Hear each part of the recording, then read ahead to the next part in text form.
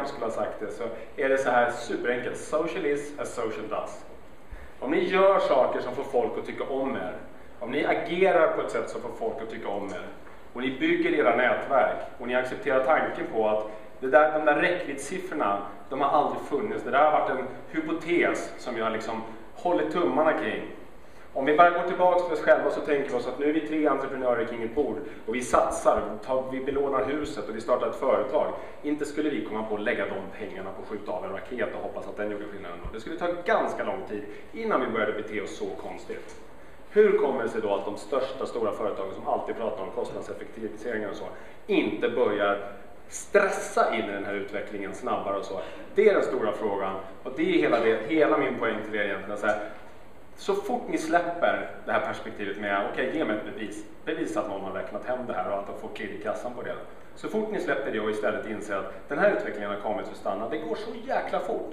Så det är en enorm utmaning för oss att göra saker före någon annan hinner, hinner före göra saker. Och det vore ju synd om det första exemplet någonsin, som jag ser, som övertygar mig, är min konkurrent.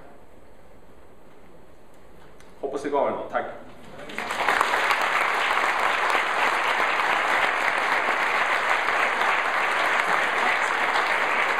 Tack Stefan. Eh, ja, jag kan säga att det gav mig någonting fantastiskt jättebra att lyssna på dig. Lärorikt och intressant och så har du ett rungande tempo, det gillar jag.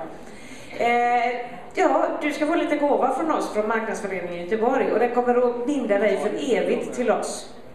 Det är Costa Bodas, en liten pjäs med händer som, ja du vet, sådär fint sammanför oss tillsammans.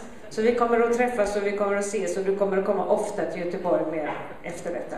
Jag ska ställa den på bästa plats i hyllan. Ja, det hoppas jag. Tack, stort tack. Tack. Om fem minuter så har vi nästa föreläsare och det är Christian Bergström